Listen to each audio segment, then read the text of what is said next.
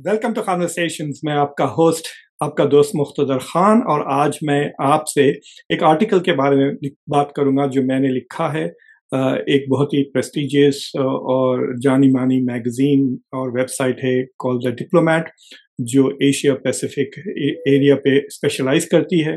तो उसमें आज आर्टिकल छपा है और उस आर्टिकल का नाम है आप देख सकते हैं यहाँ पर इस आर्टिकल का नाम है a new Bangladesh is emerging but it needs India too तो ऑब्वियसली आर्टिकल अंग्रेज़ी में है, मैं उसका लिंक लगा दूँगा।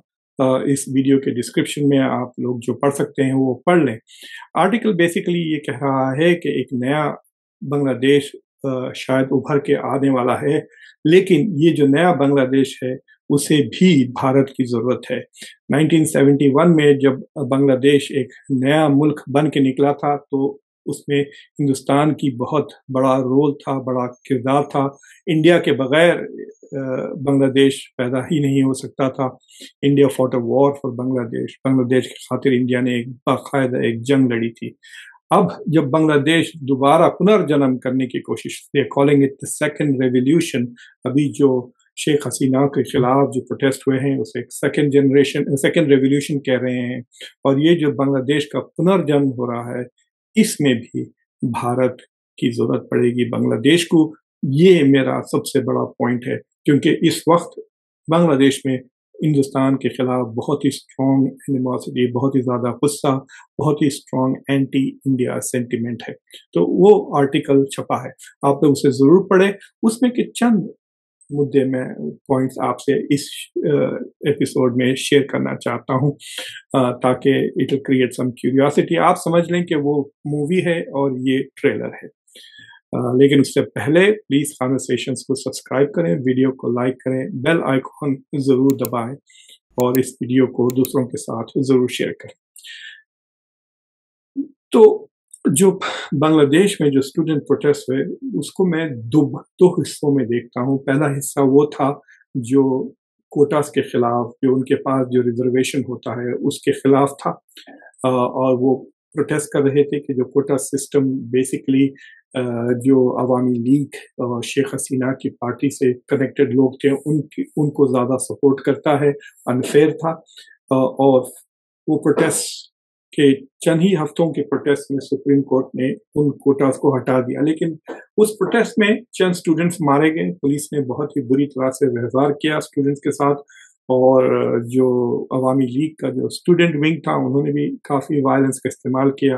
तो उस से गुस्से में आकर जो स्टूडेंट्स मोमेंटम गेन किए थे, वो उन्होंने अपनी प्रोटेस्ट और अपना जो आंदोलन था, उसका मकसद बदल दिया। इन दे वांटेड शेख हसीना अब और वो प्रोटेस्ट फिर फैलने लगे। तकरीबन 300 लोग मारे गए टोटल प्रोटेस्ट में और अल्टीमेटली फिर फौज ने ये कह दिया कि वो शेख हसीना को उनकी सिक्योरिटी गारंटी नहीं कर सकते। तो शेख हसीना ने रिज़ाइन कर कर वो भारत भाग कर आ गई है। तो ये जो शेख हसीना के खिलाफ गुस्सा है, पिछले चंद सालों में she had become very authoritarian हालाँकि 2009 में उन्होंने डेमोक्रेसी लेकर आई थी और इकोनॉमिक डेवलपमेंट काफ़ी हुआ। बांग्लादेश का एक वक्त ऐसा था, आज कोविड से पहले कि बांग्लादेश, साउथ एशिया का सबसे हाईएस्ट पर कैपिटा मतलब खैर श्रीलंका और मॉलडीव के उतना नहीं, बट इंडिया से ज़्यादा उसका पर कैपिटा इनकम हो गया था। काफ़ी तेज़ी से वो ग्रो हो रही थी it had become like a model country in South Asia लेकिन उसके बाद शेख हसीना काफ़ी अथॉरिटेरियन हो गई इलेक्शन बाइकआउट होने लगे तो became like a one party state so एक किस्म से उस दबाव की वजह से there was a lot of anger against Sheikh Hasina in the opposition party students में इकोनॉमी भी कमज़ोर हो गई थी कोविड के बाद।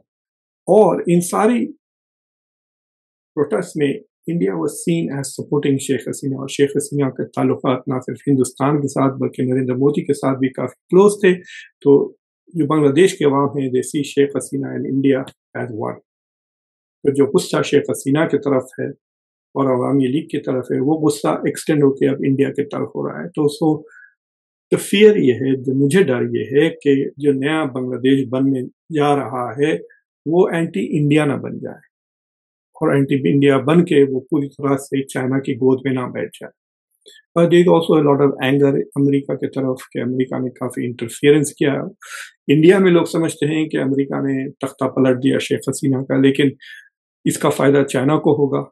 और अगर चाइना की मदद क्यों करेगा अमेरिका? ये आप सवाल सोच लें। So so that is an interesting thing कि किसी फॉरेन हाथ अगर है, इसमें पलटने का तो लाइकलीहुड के वो चाइना के है, ना कि अमेरिका का। तो इस आर्टिकल में मैं चंद चीज़ें बताना चाहता हूँ, क्योंकि देखिए, बांग्लादेश एक इंडिया लॉक कंट्री है, यानी इंडिया बांग्लादेश के तकरीबन पूरी तरह से 94 परसेंट जो बांग्लादेश का बॉर्डर है, बांग्लादेश का बॉर्डर कुछ चार हज़ार तीन सौ किलोमीटर का है, उसमें से चार हज़ार एक सौ के करीब इंडिया के साथ थोड़ा सा वो म्यांमार के साथ बॉर्डर शेयर करता है। तो बांग्लादेश पूरा का पूरा इंडिया के अंदर है। तो उसकी जोग्राफी बदली नहीं जा सकती। तो इसके वजह से इंडिया के साथ ताल्लुक बहुत ज़रूरी है। It cannot afford to be hostile to India दूसरा इंडिया का एक थोड़ा सा हिस्सा छोड़ के अगर इंडिया को अपने नॉर्थ ईस्ट से कनेक्ट होना है तो बांग्लादेश के थ्रू कनेक्टिविटी की बहुत ज़रूरत है। इंडिया को भी बांग्लादेश की और एक पॉजिटिव फ्रेंडली बांग्लादेश की ज़रूरत है। इंडिया ने बांग्लादेश के लिए तकरीबन आठ बिलियन डॉलर का लाइन ऑफ़ क्रेडिट एक्सटेंड किया है, जिसमें से वो एक बिलियन डॉलर तक उन्होंने फ़ायदा उठाया है। इंडिया पे वो डिपेंड करते हैं कई चीज़ों के लिए, चावल से लेके खाने की चीज़ों के लिए अनियन मतलब जिंजर ये सारी की चीज़ें, मैंने खाना पका, उनके रसोई बंद हो जाएँगी अगर वो इंडिया के साथ ताल्लुक ख़राब कर लेंगे। जो इकोनॉमी बनी है बांग्लादेश की, उसकी it is like a one item one export economy जो कपड़े बेचते हैं। गारमेंट्स जो वो एक्सपोर्ट करते हैं। और उसका सारा raw material including cotton India से आता है। तो अगर इंडिया का रॉ मटेरियल नहीं आएँगे तो उनकी एक्सपोर्ट खत्म हो जाएँगी, उनकी इकोनॉमी डाउन हो जाएगी चीज़ बढ़ जाएगी। अगर खाने पीने का सामान नहीं आएगा तो महँगाई बढ़ जाएगी।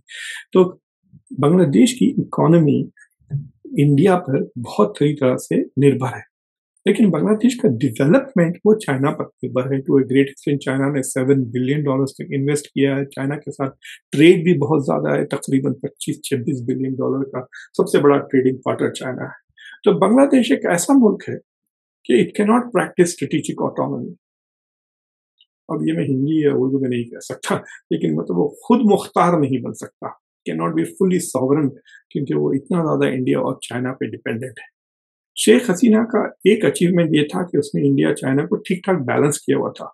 She was friendly with India and also with China लेकिन अब ऐसी सूरत हाल बन गई है कि अगर बांग्लादेश के स्टूडेंट्स और जो प्रोटेस्ट कर रहे हैं, अगर वो इंडिया के साथ ताल्लुक खराब कर लें तो वो लिटरली पूरी तरह से चाइना पे डिपेंडेंट हो जाएँगे and I am not very sure कि चाइना पूरी तरह से रिलायबल है बांग्लादेश के जो लोग हैं, उन्हें चाहिए कि वो मॉलडीव की तरफ़ देखें। मॉलडीव ने भी ऐसा ही किया था। इंडिया के खिलाफ मोइजो ने काफ़ी anti India statements India out के बयान दिए चाइना गया पहली बार, फिर उसके बाद देखिए, पिछले एक महीने में आप देख रहे हैं, जब से डॉक्टर जयशंकर जाके आए हैं मॉलडीव में, उनको 150 मिलियन डॉलर्स का जो लोन था इंडिया से, उसको रिस्ट्रक्चर किया गया। मॉलडीव वापस, कहते हैं ना कि अब आया ना ऊँट पहाड़ के नीचे तो मॉलडीव इज़ वंस अगेन अपने ताल्लुक बेहतर कर रहा है इंडिया से। तो इसका सबक बांग्लादेश को सीखना चाहिए कि the same thing is going to happen दूसरी चीज़ मैं ये कहना चाह रहा था कि ये इंडिया बांग्लादेश के ताल्लुकात में हिंदू मुस्लिम के मसले को लेकर भी काफ़ी पोलिटिसाइजेशन हो रहा है। इंडिया के साइड में भी बहुत एग्जाजरेशन हो रहा है कि हिंदू जेनोसाइड हो रहा है। भाई टोटल पूरे प्रोटेस्ट में जो सबसे ज़्यादा मारे हैं, तकरीबन चार सौ से ज़्यादा लोग ही मारे पूरे पूरे प्रोटेस्ट में जितने महीनों से हो रहा है तो उसमें ज़्यादातर जो मारे गए हैं, वो स्टूडेंट्स हैं जो प्रोटेस्ट कर रहे थे। फिर शेख हसीना के जाने के बाद जो वायलेंस हुआ है, उसमें उन्होंने टारगेट किया अवामी लीग को और पुलिस को। पुलिस तो चुप गई, लेकिन अवामी लीग के कई लीडर्स मारे गए। तो जो चंद हिंदू मारे गए हैं सम ऑफ़ इसलिए मारे गए हैं कि वो अवामी लीग के नॉट बिकॉज़ वो हिंदू हैं बट इसलिए कि वो अवामी। और ये बात ज़रूरी है कि बाद लोगों ने यकीन हिंदू टेम्पल्स वगैरह को टारगेट किया है, लेकिन कई ऐसे मुस्लिम ऑर्गेनाइजेशन भी है जिन्होंने टेंपल वगैरह को हिफाजत करने की कोशिश की। और मोहम्मद यूनुस ने खुद प्राइम मिनिस्टर मोदी को फ़ोन करके उनको अश्योर किया कि ये चीज़ें रुक जाएँगी, अब फौज वापस हिस्सा ले रही है मेंटेनिंग लॉ एंड ऑर्डर तो यकीनन मतलब जितना भी थोड़ा बहुत जो जुल्म हुआ है that should not have happened but India को भी चाहिए कि not to exaggerate the situation क्योंकि हालात बेहतर होने के बजाय हालात खराब होते बांग्लादेश को तो यकीनन बहुत ज़रूरत है इंडिया के लिए, लेकिन इंडिया को भी बांग्लादेश की ज़रूरत है। अगर बांग्लादेश में चाइना चाइना आके बैठ जाता है चाइना अगर बांग्लादेश के बॉर्डर्स पे अपनी फौजें रखने लगता है तो India will be disconnected from the North East India can not allow that सोचिए आप कि चाइना नॉर्थ से और साउथ दोनों से अरुणाचल प्रदेश की तरफ़ फौजें ला सकता है, अगर बांग्लादेश पूरी तरह से चाइना की गोद में बैठ जाता है।